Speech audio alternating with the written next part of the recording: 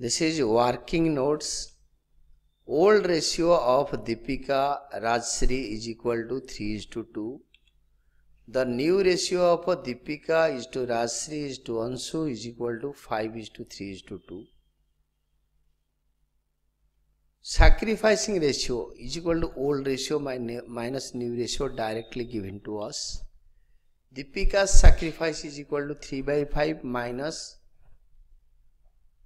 old share minus new share 5 by 10 that is equal to LCM 10 whole upon this uh, 6 minus 5 whole upon 10 is equal to 1 by 10. Likewise Rajshri's sacrifice that is 2 by 5 minus 3 by 10 that is equal to LCM 10 2 to the 4 minus 3 that is equal to 1 upon 10. Now Therefore, the sacrificing ratio of a Deepika is to Rajshri is equal to 1 is to 1.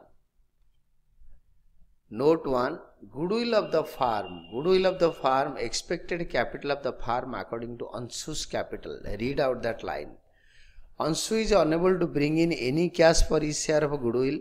Partners therefore decide to calculate the goodwill on the basis of Anshu's share in the profits and capital contribution made by her to the farm. Hence, expected capital according to Anshu. Anshu has contributed a capital of rupees 32,000 multiplied by reverse of her share that is 10 by 2 that is equal to rupees 1 lakh 60,000 less actual capital and revaluation profit including profit reserves that is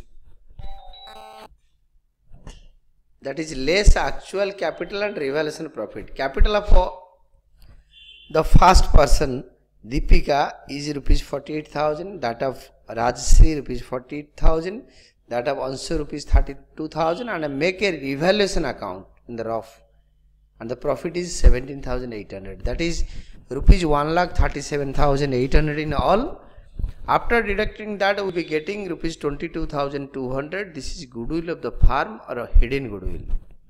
After getting this we will be proceeding to the next step Anshu's share of goodwill that is rupees 22,200 for the farm multiplied by Anshu's capital share that is Anshu's share in the profit profit share that is 2 by 10 that is rupees 4 4 triple four zero hence Deepika journal entry for treatment of goodwill Anshu is not paying any money for goodwill it is nowhere written it is Anshu's capital account debited rupees triple four zero to Deepika's capital account rupees triple four triple two zero to Anshu's capital account triple two zero. This is in sacrificing ratio being sacrificing ratio. Then note 3. There is a bank overdraft. Bank overdraft is to be paid as it is mentioned not paid as it is mentioned in the problem for payment. Both bank balance and bank overdraft can appear simultaneously in the balance sheet. This loan may not belong to the same bank where you have a bank balance.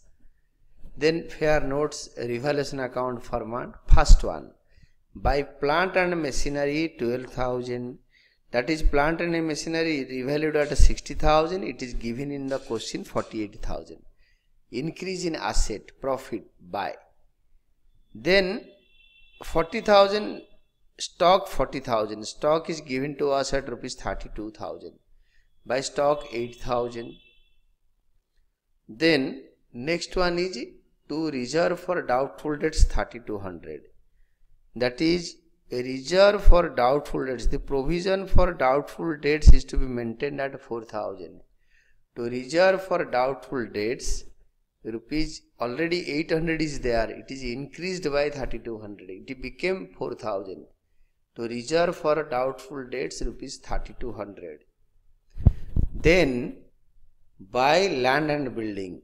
Land and building is appearing in the books at rupees 50000 and this land and building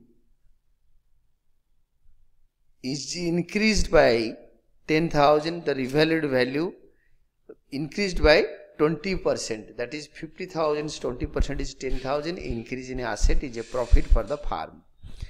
Next one is by furniture rupees 1000 how come?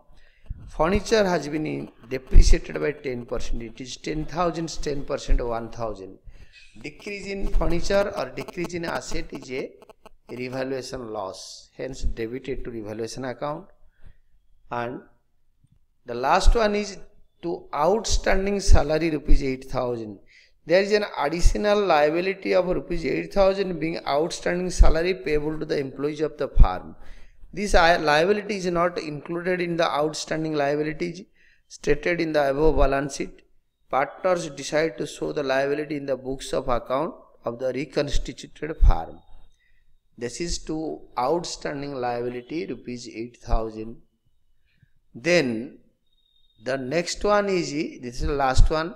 Total credit side rupees 30,000 30, take it to the debit side rupees 30,000 and deduct 12,200 that is rupees 17,800 this is the revaluation profit to capital accounts revaluation profit transferred in old ratio of 3 is to 2 that that is for Deepika it is rupees 18,500 multiplied by 3 fifth and for Rajshri it is 2 fifth and the amount payable for revaluation profit is rupees 10,680 for Deepika and for Rajshri it is 7120 rupees. And then capital accounts, partners capital accounts, Deepika, Rajshri, Anshu both in the debit and credit side it is by balance brought down for Deepika rupees 48,000 for Rajshri rupees 40,000. Then the next one is your by cash account rupees 32,000.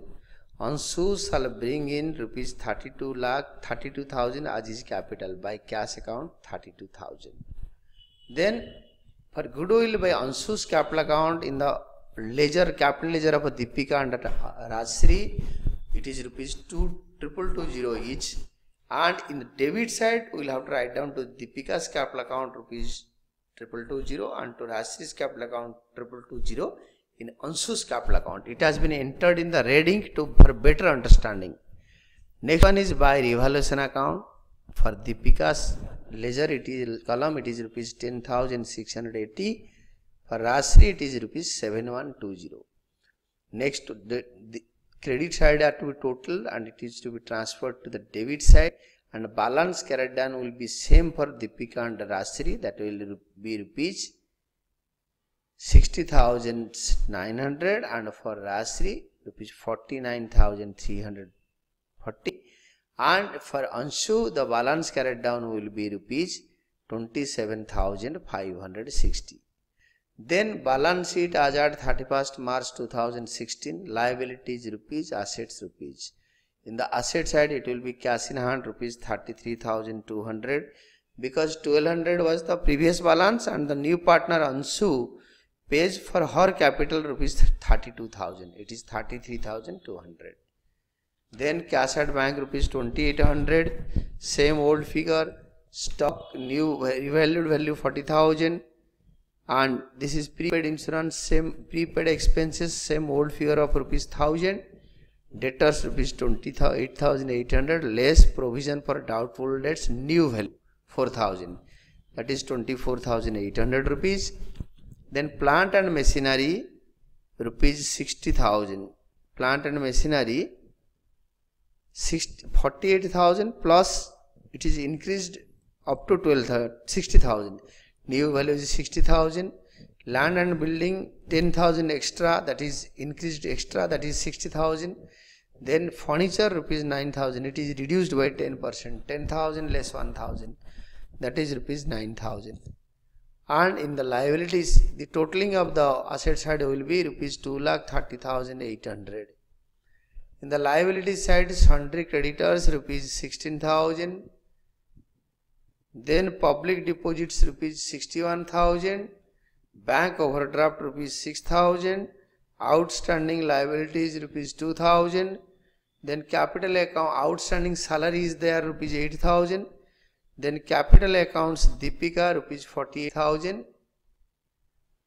new value new revised new balance in the capital account is rupees 60800 900 for Rajshri it is rupees 49340 For Anshu rupees 27,560. And in the final column we will have rupees 1,37,800. And total of the liability side is the same as that of asset side rupees 2,30,800. Both these sides are tallying. Our answer is correct.